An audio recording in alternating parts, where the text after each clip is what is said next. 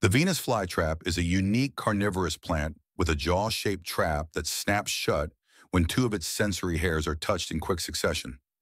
This mechanism prevents it from mistakenly capturing non-prey. The closing speed is extremely fast, taking only about a tenth of a second. Once trapped, the plant releases special enzymes to dissolve the insect and extract nutrients it can't find in the soil. The Venus flytrap is also capable of counting. The more movement it senses from its prey, the more active its digestive enzymes become. This demonstrates the plant's natural intelligence, despite its brainlessness. Despite its ferocious appearance, the Venus flytrap is actually fragile. It grows only naturally in Carolina swamps and requires strong light, nutrient-poor soil, and mineral-free water. In fact, it only needs to eat small insects every few weeks. These are some interesting facts about the Venus flytrap. Don't forget to like, share, and subscribe for more interesting facts.